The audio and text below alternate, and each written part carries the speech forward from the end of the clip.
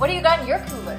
M&M's and a Diet Coke. What do you got in your cooler? A banana and an energy drink. What do you got in your cooler? $5,000 cash, and it's a Yeti. Whoa, no way!